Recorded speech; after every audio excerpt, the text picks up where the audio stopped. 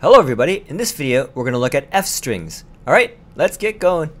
So, so far this is a program you could have written. I have three integers and I need to join them to strings. But as you remember, strings plus integers are not happy. I need to convert them to strings before I can join them to other strings. But this is really complicated and error prone. There's lots of places to mess this up with the pluses, at the quotation marks, and the spaces. What if I told you there was a better way to do this? Well, there is, and it's called the F string. So here's what the F string looks like. Basically, we have a string. Again, remember the string is the quotation marks. And the F comes before that. Inside the quotations is what we want to print. And then we have the curly braces. And inside the curly braces is a variable. And when we print it out, it will print the value of that variable. Alright, so here I have my old code that I just wrote using casting and concatenation. I'll rewrite it with F strings. Hopefully you can see it's a lot easier to read. It's definitely a lot easier to write. Here I'm rewriting Mad Libs.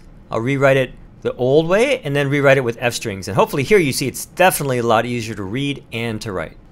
You can also do expressions inside the curly braces. So in this example, I have a 5 plus 10, that's equal to 15, which is what prints out.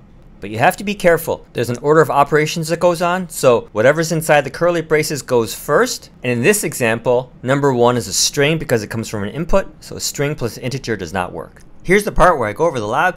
Please pause the video and try it out. Promise it's not too hard. Alright, so here we are taking a statement that is written with concatenation and we're going to write it instead with f strings. And so when I run it here, you see it crashes right away. That's because I need to cast this integer to a string first. Uh, but now let's say I want to write it with f strings.